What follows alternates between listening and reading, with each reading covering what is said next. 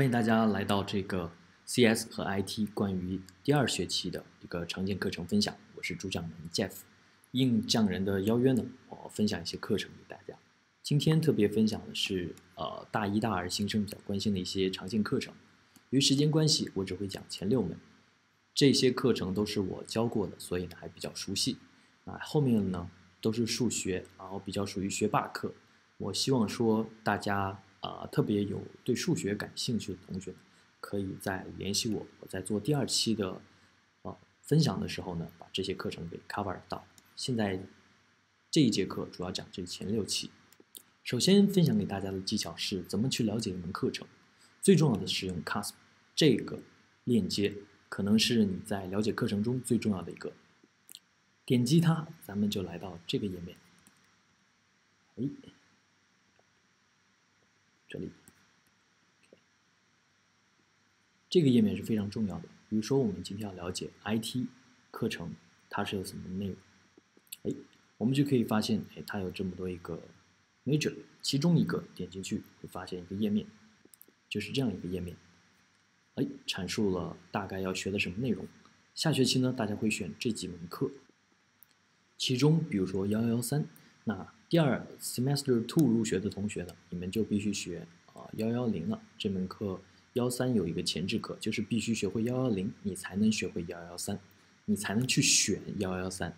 所以，所以呢，如果你是第二学期入学，咱们把这个幺幺三改成幺幺零就可以了。从这个角度说，哎，它就是我们去选择怎么样去排课，怎么去毕业。你可以根据这么样一个指示去发现，哎，我怎么样选课可以毕业。另外要分享大家另外一个网站叫 Units，这个你可以去查一下，哎，它是什么样一个情况。同时呢，这些东呃这些可以看，它是可以点进去的。咱们点一下这个幺幺三，等一下，好，来到这个页面，可以看到它是学什么内容的，Programming Technique，Software Developers，大概可以发现这门课主要是学编程。它就是做呃软件设计的一个基础。以后呢，如果你对 Java 编程啊做软件啊有感兴趣的话呢，可以选这门课。这是一个承上启下，当然这门课是一个必修啊，所以必须啊 CS 专业的人必须选。回到我们的 PPT，给大家分享的一个技巧叫 CASP 等于 Google 等于自己的呃加 Google 等于自己的一个初步理解。编程专业呢，呃要一定要学会提问，也一定要学会自学。如果呃，特别是在以后你接触课程的过程中，你可以发现，哇，好多人在上面提问题，然后呢，再找到自己的答案。所以我希望给大家分享我对这些课程的一个初步的理解，但是呢，也希望大家哎斟酌斟酌一下，然后根据自己的一个水平去判断。好的，如果有更进一步的问题呢，欢迎大家联系我，或者说哎加入学科群去讨论。给大家分享三个技巧。第一个呢是 Google，找到关键词，比如说 Math 一零零五，你 Google 呢会出现这些内容，点进去，它会告诉你非常非常多相关的内容去了解这门课。Math 一零零五从这里看，它是一个基础课程。然后呢，这门课其实跟 Data 一零一是很像的，它是关于啊统计学的一些思维的练习。第二个呢，官网也是 CASP，CASP 呢会给你一些大纲，告诉你，哎，它是学什么的。一零五是学诶，design experiments, explore data analysis, sampling，然后 test of significance。它的一个考试的一个结构是什么样的？有 quiz，有百分之六十五的期末，期末占比很高啊，说明如果我是一个考试型选手，那这门课应该可以考得更好吧？那如果我是一个 project 型选手呢？那这时候呢，就可以呃找一个考试技巧很强的人，咱们合作，然后呢一起拿 project 非常高。然后期末的时候呢，抱个大腿，请这个考试技巧非常强的人跟我一起复习，咱们刷一刷题，把 past year paper 都做多做几遍，然后总结一下题型，做一下笔记，分享一下，基本上两个人都是海底，啊，皆大欢喜。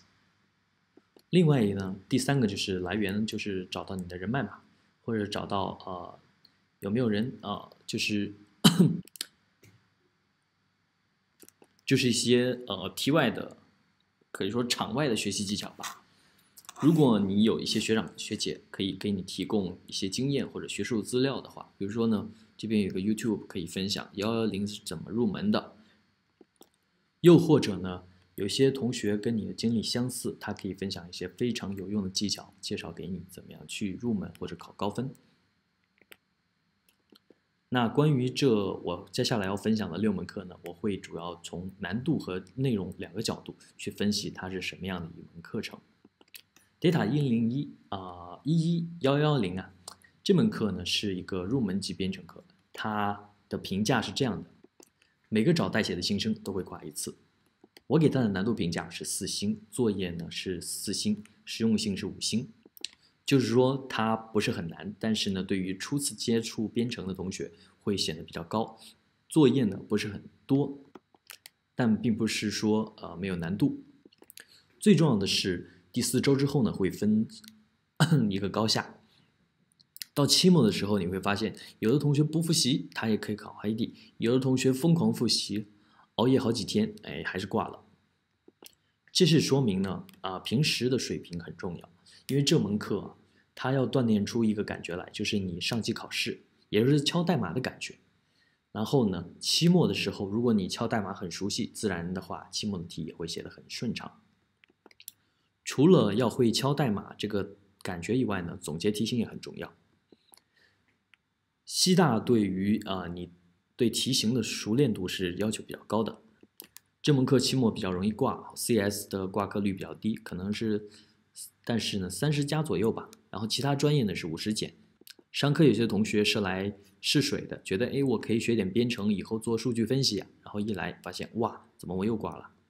因为呢，他们的思维方式还是以那个，可能有些同学还是以文科去学，就是背，就是背概念去啊熟悉。但这门课是要去上机考试的，就是去敲代码，一定要学会去敲，并不很难。只要你当你去看，当你去敲的时候呢。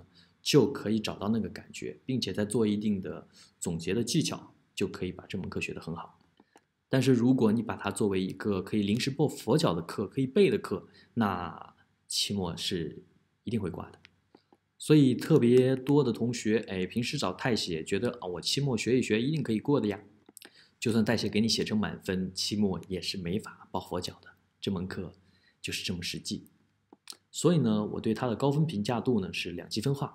总分会看期末，但是真正的你能考不能不能考这么高分呢？他的水平是看平时的。如果一个同学挂科了啊，基本可以判断他平时就不不怎么可以还低。从这个角度，咱们 tutorial 是一定要去的。第一个 assignment 会比较简单，第二个 assignment 难一点。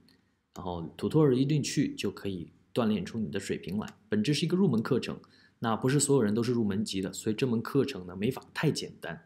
因为很多人已经学过 Python 了，或者说他已经有一定编程基础了。你把这门课设计的太简单，嗯，所有人都拿的比较高，因为大家都会嘛，根本不需要上大学了就能学这门课了。另外呢，最重要一句话，代码是打出来的。这门课如果你是新生，要花大量时间去入门，来体会上机的感觉。另外，我给大家分享一下，这是 Week C、Week Four 之前需要掌握的内容。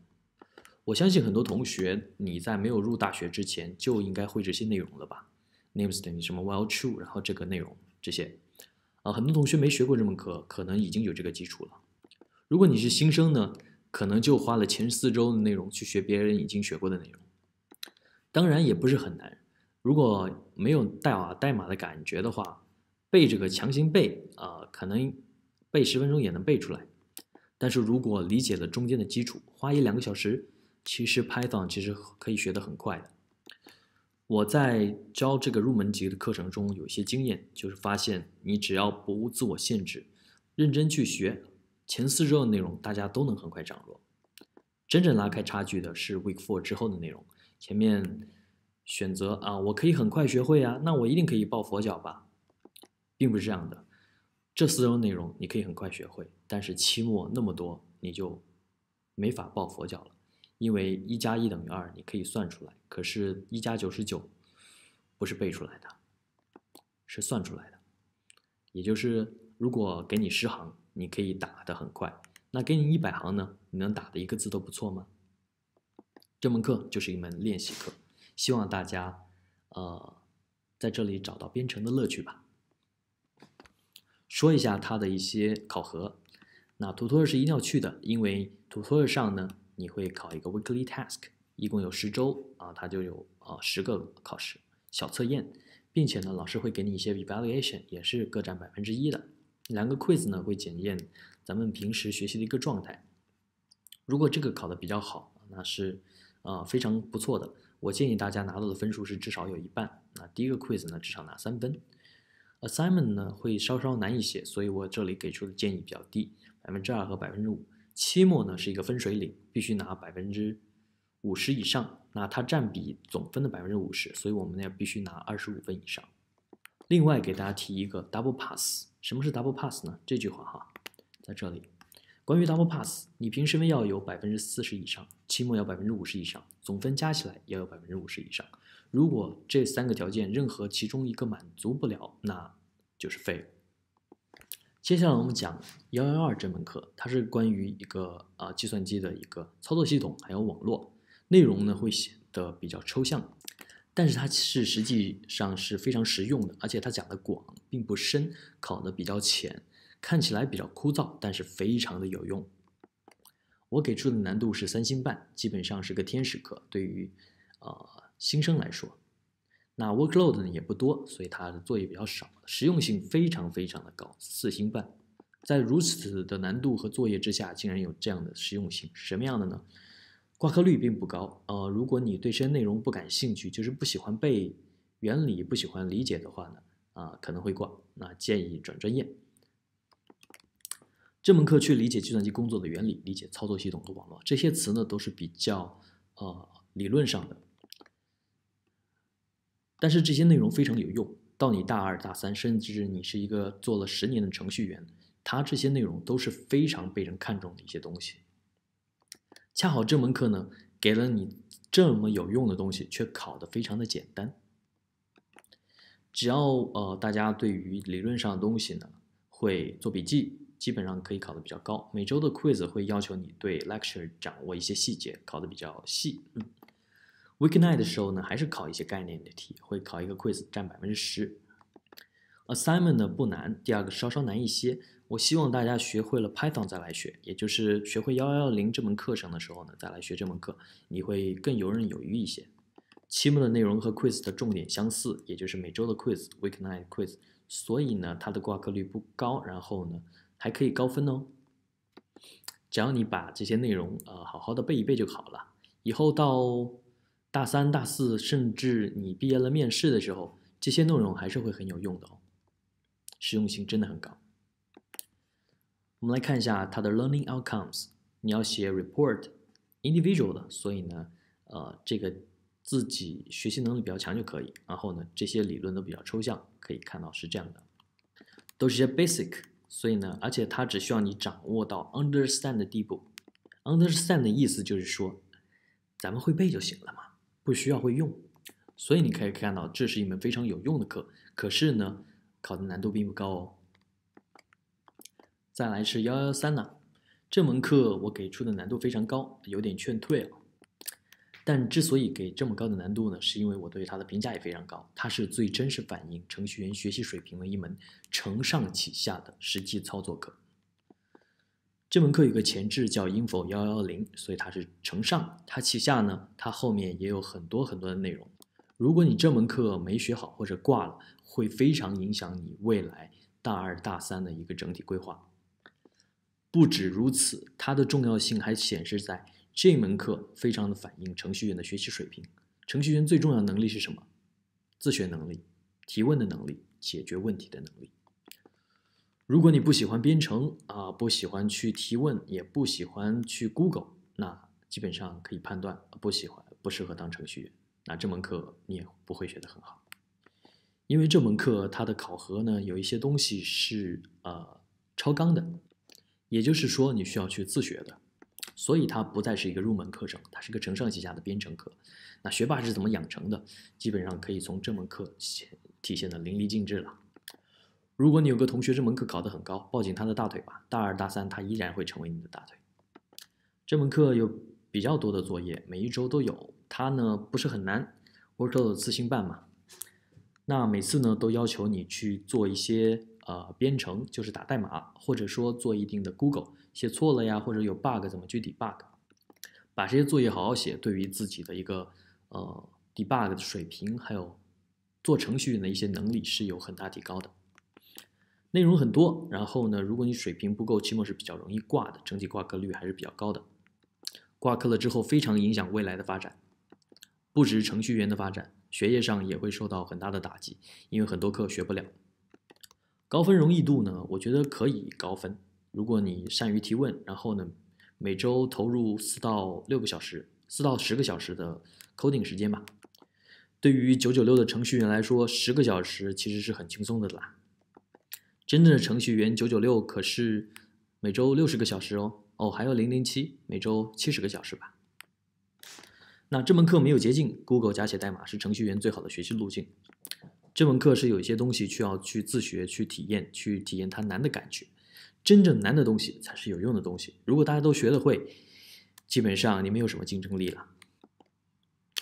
这门课的竞争力是体现在你写作业的水平上，这些作业都是非常有用的一些作业。体现你对 Java 的理解，对于面向编程的理解。第一个作业呢是普通难度，需要花一定时间可以写出来。第二个呢极其考验自学能力和提问能力，就算你呃平时很努力，也不一定写得出来。学会找到关键词，哪一个是你不会的，然后去 Google，去在 @stem 上讨论，去问 lecturer，真正的掌握到，哎，这完全一个很新的东西，我完全不会。可是，怎么样去通过各种技巧把它学会了，然后第二个就能写出来了。所以呢，第二个作业不是死学能学出来的，是需要你学会提问，学会解决问题。同样的代码是打出来的，千万别找大写。这门课需要大量时间去练习。如果作业平时写的不认真的话呢，期末就很容易挂。没有捷径可走，走哦。一定要提升自己解决问题的能力。我期待你变成大二大三的大腿呀。这是我总结的关于这门课的一个主要内容。然后呢，你可以看到前面几周啊还比较抽象，可以稍稍的背一背。后面的呢考的不太多，可以划划水。中间非常重要。如果有些同学在第四周的时候呢，还在以背的形式去学这些内容，基本上可以发现。这个人的编码水平就不会很高了，编程水平就呃解决问题的能力就呃毕业的时候就啊没有然后了。真正厉害的同学，四 B 五六七，理解它，背诵它，并且去打代码实现它。这个部分呢，四到七非常非常重要，而且是要从代码上去理解，你才会发现我完全掌握了这部分内容。真正的程序员就是从第四周开始养成的，真正的学霸也是从第七周开始养成的。希望大家认真对待四到七，然后呢，写很多很多的代码去实现这些概念，这样才是一个熟悉到精通的步步骤。如果去死记硬背，然后去硬猜考题的话呢，基本上是从入门到入土吧。呃，接下来给大家分享一个比较简单的。哎退出了哈，Data 一零一这门课的难度三星，Workload 三星，实用性三星，是一门太简单，简单到呃可能你觉得自己很强，然后才会挂的课，入门课。我对他的评价是，哎，这门课你要学会写 report，学会刷题，这两个技巧还是比较重要的。他的 project 呢占呃有百分之三，百分之三十，掌握了一定的 report 框架就比较容易高分，大家给的比较松。哎，我咋退出来了？不好意思哈。Lecturer tutor 这个人呢比较重要，他既然是他既当了 lecturer，居然还来当 tutor，这不是劳模吗？劳模写出来的 slide 怎么可能不用心呢？好好学啊，他的 slide 基本上你不去上课都会理解的很清楚。然后呢，重要的是平时重在理解，那作业难度不高，这边百分之三十，大部分人可以拿到百分之二十五到二十八吧，划划水都可以拿到很高分哦。只要记得交就可以了，记得 deadline，这是很重要的。但是如果平时分都很高的话，那期末岂不是很难了？因为都简单的话，怎么分出水平来呢？别担心，老师有办法，就是看你的刷题水平了。所以如果你太放松的话，期末会考得很糟糕。但是只要学会刷题，把平时的题都刷一刷，哎，我觉得没有什么问题。如果你想考高分的话呢，咱们就是突击吧。期末把 pass your paper，就是过去几年的呃考题全部都写一遍，答案背一遍，没问题。为什么没问题？它是个入门课程，重在统计思维的理解。题量很大，选择题需要通过刷题的熟练度来节约时间，这样你可以在主观题的时候呢多写一点，就好像学政治一样，只要你写的够多，写的够有道理，基本上会给你高分哦。另外，解答题呢需要学会 R code，需要学会运用统计学的思维来呈现观点。我给大家分享是这样的，学习和作业的思路基本上哈不是很难，你可以看到，我很快可以解出哎这门课的一些重点，就这样。记得 Project One 的时候呢。呃，第三周的时候学点技巧，第四周好好写。那后面呢，学会了这个技巧之后，后面直接写了 Project Two。除了把这三个作业写好以外呢，这些内容稍稍的学一学，期末的时候把真题刷一刷，基本上嗨地了。当然呢，如果你不是学霸的话呢，你就要学会技巧了。技巧是什么样的呢？Report 套路有哪些啊？怎么样去搞定 Data Acquisition？去哪个网站上下载数据啊？这样才可以做分析啊？满分 report 的结构是什么样的？你可不可以给我抄一下？哦，原来你是这么写的，可以。然后我换个词就可以了嘛？我不，不是建议大家抄啊，再录吧。再录，居然录进去了。哦，是说结构啊，然后语言，比如说啊，this report aims to 哒哒哒哒哒哒哒，this report finds what what what，这种语言呢就是一个套路型的。所以你可以随便用了，就算一百篇写成这样，也是没有人说你抄袭的。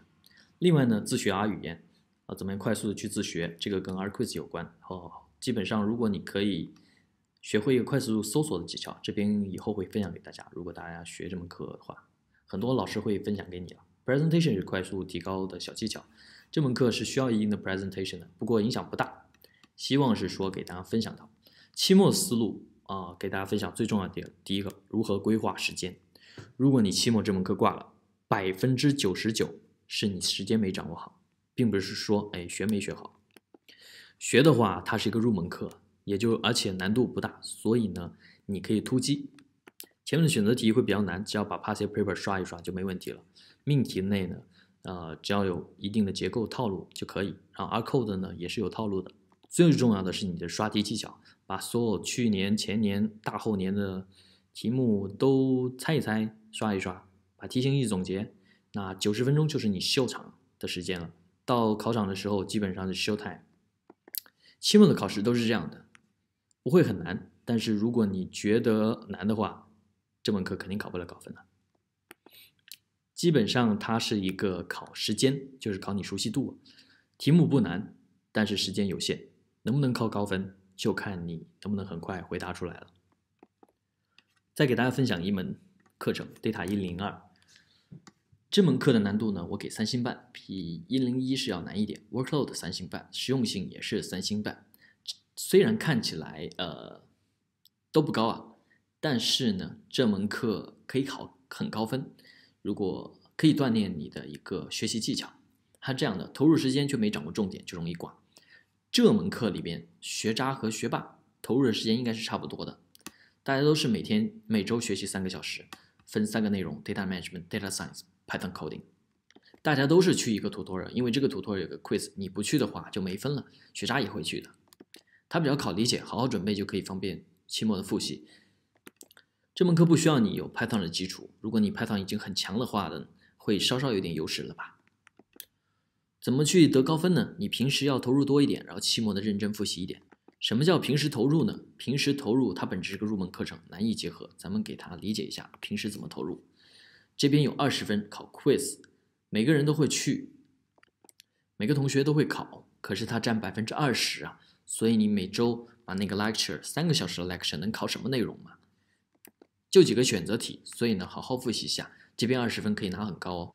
另外，这百分之十是啊，让你每周花点时间去自学 Python，也是送分的啦。如果这十分都拿不到，真的有点不走心。这边三十分到手，那大家都是新生来做 project，做数据分析，一定不会拿很高，也不会拿很低。老师不会改很严，也不会改很松，所以这部分呢分数都差不多，不会很高，不会很低。期末就是分水岭了，大家还记得我建议大家啊，平时好好学 quiz，期末的时候好好复习。期末的时候为什么好好复习呢？期末的内容不是跟平时的内容差不多吗？哦，除了这样的以外呢，它会加很多的量。我建议大家做，呃，做期期的做到这个水平的话，期末应该会考的比较高了。同时，学渣也会做到这个水平。如果他认真的话，他认真的话，他就不会呃，只做到只写那么几个字了。这边呢，大概要花几天才会呃写成这样吧。主要是投入时间。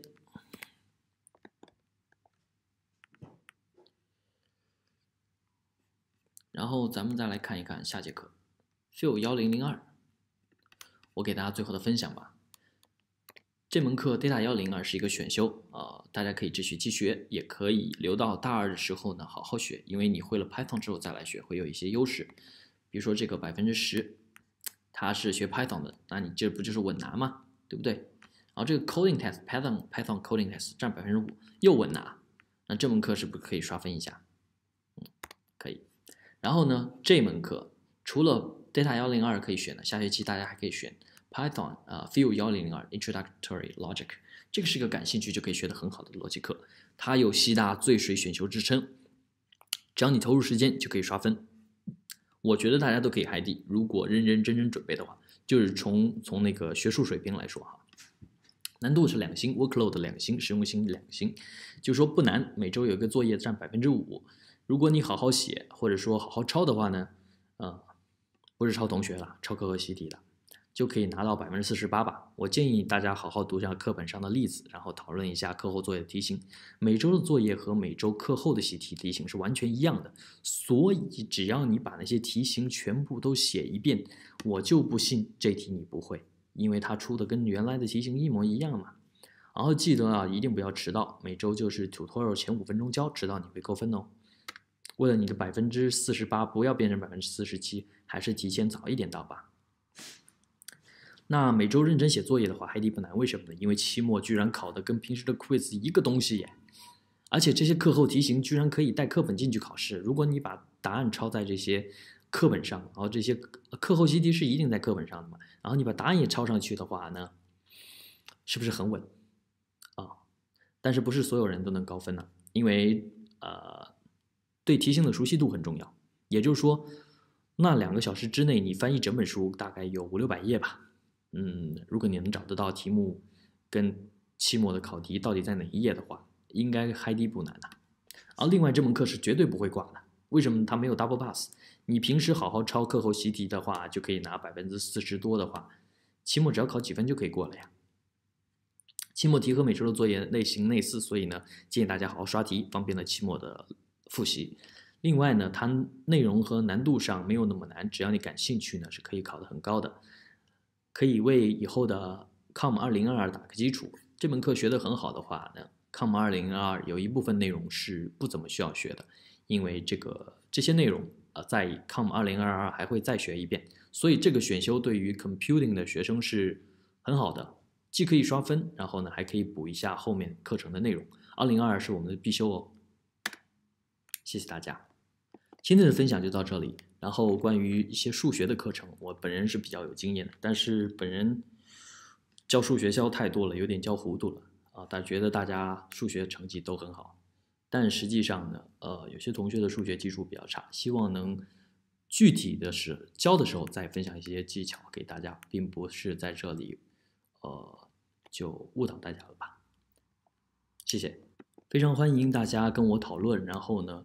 如果呃有时间，还会给大家做第二期的视频，分享一些我对于 math 方面的了解。顺便说一下，我 math 所有，我虽然不是数学专业的，但是我的数学基本都是海底好像没有一门不是吧？谢谢。